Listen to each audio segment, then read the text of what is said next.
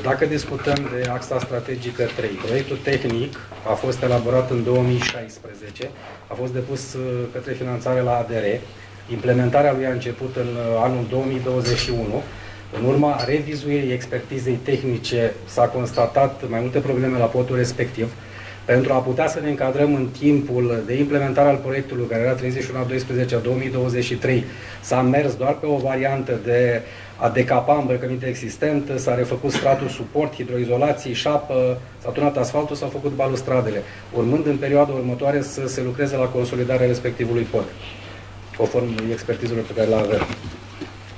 La uh, Muzeul de Istorie uh, se face recepția săptămâna viitoare ca cheltuieli suplimentare 570 de mii, cred, au fost montate vitrine în această perioadă, 83 de vitrine, lucrăm la dotări și sperăm cât mai repede să, să le avem funcțional.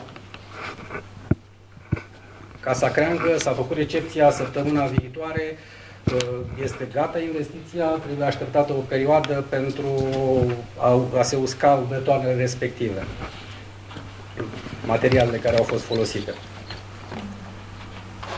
Iar la Focaș? Focaș, stadiul fizic al lucrărilor este 65%. Din păcate, ăsta este un proiect un pic mai întârziat. Așa. Da, e, e tapizat oricum. Sperăm să fie gata cât mai repede. Oricum, termenele acestor proiecte etapizate sunt 31 a 12 a 2024.